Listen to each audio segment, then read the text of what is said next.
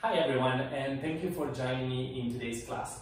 This practice is dedicated to a specific pose called Navasana or the boat pose which requires quite a bit of activation of the front body and especially the low abs.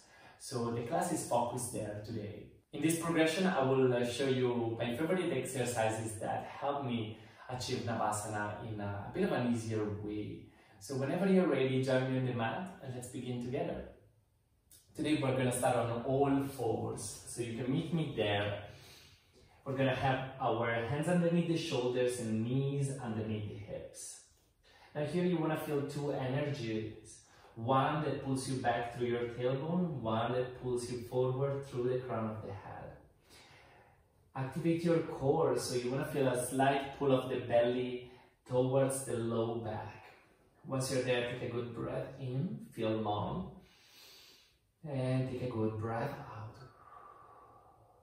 Now on your next inhalation, arch your back and look forward. As you exhale, look down towards your belly for cat and cow pose. So here, because you were focusing a lot on the core, you want to really focus your attention there. Engage your abs. Then inhale, arch your back. Relax your belly. Exhale, again, activate your core, round the spine. And two more times, inhale, uh, arch your back. And exhale and round your spine. And this is going to be your last one. Inhale, uh, arch your back. Nice warm up of the back. Exhale, round the spine. Very last time. Really activating the core here. Now come back to your neutral position and we'll go a little bit deeper. So again, with the idea of being long in your back, you want to tuck your toes under and we're gonna hover our knees off the floor. What? So hard. So feel a nice pull of your core in. Your knees are hovering off the floor and we try to hold this position here without rounding the spine, but keeping it long. And we will stay here for five, four, three. If you feel that shake, it's okay. Two, and one. Exhale, the knees slowly are coming back down on the floor. Relax your toes and sit back for a quick child's pose. Relax the forehead down, take a good breath in. And take a good breath out. Now, re-engage your core, come back to your tabletop position. And this time we're gonna go a little bit deeper, so extend one foot behind you, one leg behind you. Those are in the floor, and then the other leg joins there. So we're in a plank position. We wanna feel nice and solid here. Arms are strong, core is active, and we're gonna hold it here. Maybe for 10 this time. Nine, eight, try to breathe. Seven, six, neck is long, five, four, stay strong, three, two, and one. Again, slowly relax your knees on the floor and sit back. Now you felt that good activation of your core. That's what we are gonna have also in uh, Navasana, the boat pose that we're gonna enter very soon. So relax the forehead down for a moment. Take a good breath in. And exhale deeply. Whenever you're ready, roll the spine up. And we're going to swing the legs forward, coming to a good seated position. Let's bend our knees. We're gonna sit nice and tall, holding on to the back of the legs. Grow tall, and again here you wanna feel that duality, that dual energy, one pulling you down into the earth, one pulling you up. So the back is long. Now, if you're very tall here, almost leaning forward, you will feel that the back muscles are the most active in this position. Instead, in Navasana, there's more activation of the front body. So, lean back, roll back on your seat bones until you feel that good activation of your core, especially the lower part of your abdomen. Then once you're there, Grow even taller. Breathe here. Exhale. If this is easy enough for you, then maybe you can go a little further. You can reach your arms forward and hold it here for five, four, three.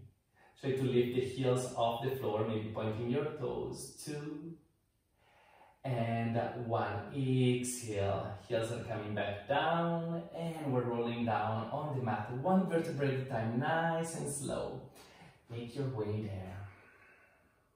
Go as low as possible, feeling each single vertebra rolling down. Fantastic. Once you get there, bring the hands in the floor. Take a good breath in, feeling the back nice and long. And bring your knees towards your chest. Exhale. Inhale, stretch your legs up towards the ceiling. Activate the core and exhale, lower the legs down towards the floor, nice and straight. You go nice and slow? Keep the core active until the very end, then bring the knees in.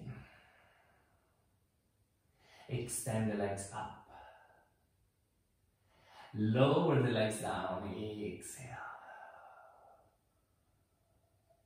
Stay strong. Try not to lift the low back, but keep it pressed down into the mat. Then bring the knees in. We'll go for two more. Stretch the legs up. Good inhalation here. And exhale down.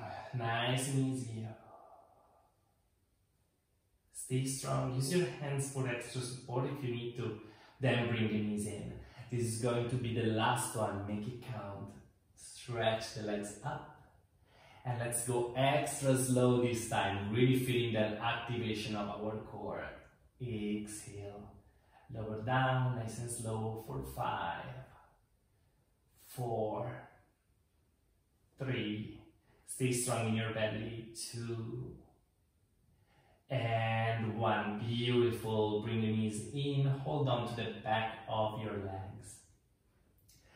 Once you get there, just to relax, take a couple of rocks side to side. Great, come back to center. And let's uh, rock forward and back this time. Really feeling that good massage in the back. And still that same activation of your belly. And keep rocking for five, four, three. Maybe try to balance on your sit bones a little more.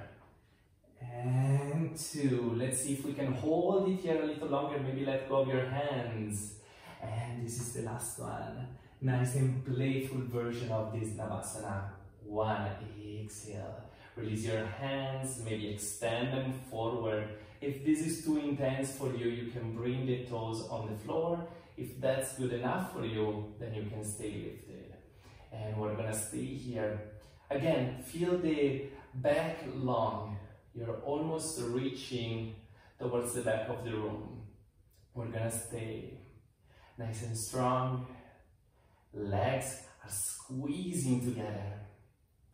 One more breath in and out. Wonderful. Release the feet on the floor and slowly, very, very slow, we roll down one vertebra at a time. Move as slow as you can. Great, create some resistance in your body. And exhale, release down, release your hands. Take a quick moment here. One deep breath in. And one deep breath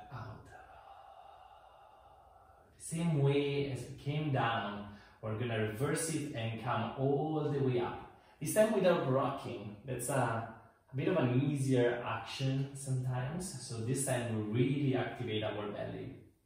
So reach the arms forward towards your knees. Tuck the chin into your chest. Start lifting up. Nice and strong. Let's go.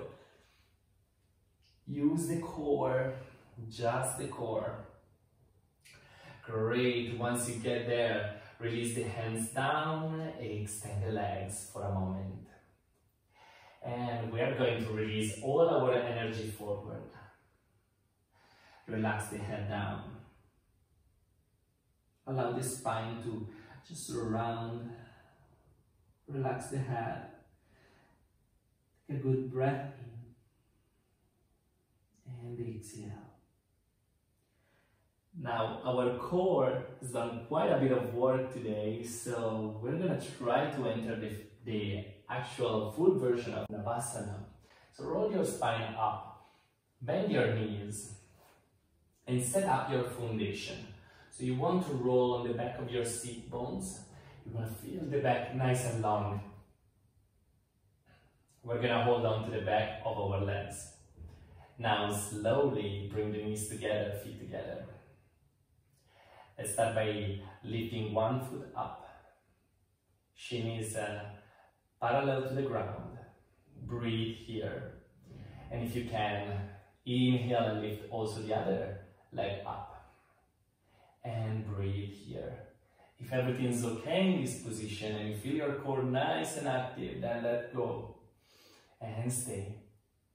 To take it further, you can try to stretch the legs up and here we are, final version of Navasana. If you feel that shake, it's okay. We're gonna hold it for five, four, stay tall, three, two, and one. Slowly bend your knees, come back down. And there you have it. You can repeat this a few more times if you wish. But that is your final version of Navasana. And just for fun, we're gonna try it one more time. Let's see how it goes. So again, hold on to the back of your legs. Grow nice and tall. Lean back. Then we're going to keep the nice length in our back. Feel the activation of your belly. Start lifting maybe the other leg up first. Then the left leg will reach hold it or extend your arms forward, shoulders down, neck is long. And here we go. You can hold it here or you can lift your legs up. And we're gonna stay for five, four, three, two, almost got it, and one. Exhale, cross your legs and come back to your seated position. Wonderful, and there you have it. This is Navasana, the boat pose. A lot of activation in the core, activation also in the legs. If you found it pretty hard, that's totally okay. It's part of the journey. Keep coming back to this video, keep working on your core, and I can promise you this position will get a little bit easier over time. Thank you again for practicing with me today. If you have any question, obviously comment down below or send me a message and I will see you next time.